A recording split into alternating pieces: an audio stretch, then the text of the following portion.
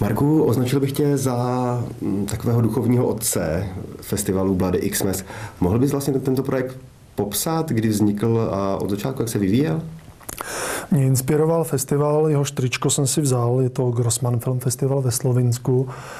A oni dokázali stáhnout do takového malého městečka v podstatě hororo, béčkovo, nezávislo, milovně, milovné fanoušky z celé ex-Jugoslávie, v mém případě i z České republiky. Ehm, byli tam lidi z Rumunska, z Polska, takže vlastně z celé té post-soc zóny a stali se takovou jako enklávou každoroční opravdu zajímavých eh, hororových zážitků. Ale nejen to, přijíždějí tam hosti jako například eh, Roger Corman, což je naprostá legenda žánrová.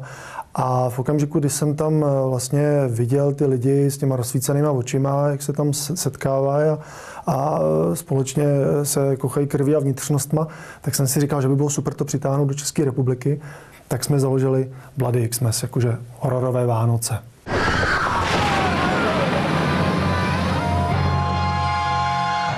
Letošní ročník je, eh, vlastně se liší v mnoha věcech od předešlých ročníků. Mohl bys vlastně popsat tyhle ty jednotlivé věci?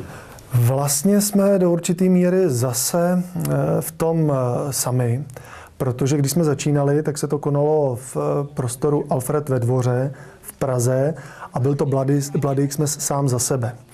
Potom po zkušenostech s náročností organizace takovéhle akce a ve své podstatě i úzkoprofilové akce jsme se jako klíště přisákli k Václavovi Pravdovi, který pořádá Festival Fantazie.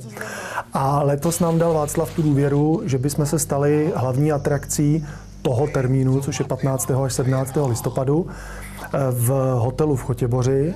Dokonce nám eh, benevolentně dovolil, aby jsme si ten hotel uspůsobili k obrazu svému, k čemuž doufám, že se ještě dostaneme. Eh, takže žiju v takovém jako lehce horečnatým očekávání, jestli přijede dost lidí, protože s tím festivalem Fantazie, tak jako popadnout ty mozky a natahat si je tam, to nebylo tak úplně těžký, že jo? protože se tam stejně ty lidi pohybovali. Ale přilákat je do té Chotěboře, to bude přijďte.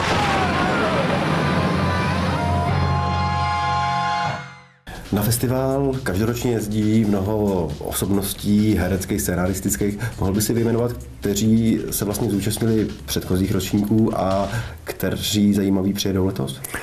Tak naši úplně první hosté byl Ctibor Turba za českou stranu, eh, který má zkušenost takovým jako hororovými groteskama.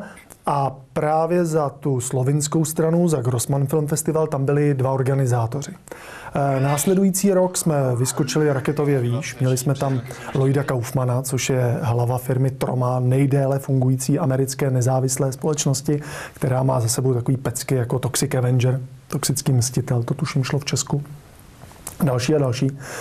Následoval Juraj Herz, absolutní český hororový klasik. A poslední ročník jsme měli Petra Jákla. Letos budeme mít autora krvavého románu, což si myslím, že je, dalo by se říci, do určitý míry taky echt hororová záležitost, postavená na Váchalově tvorbě, a to je Jaroslav Brabec.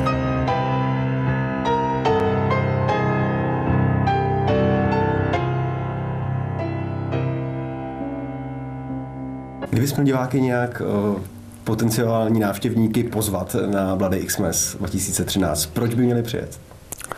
Přijďte, protože hororový žánr si buď můžete vychutnávat sami doma, a nebo ho můžete sdílet se stejně posedlými maniaky a třeba tam najdete družku, druha svého vyhřezlého srdečního svalu.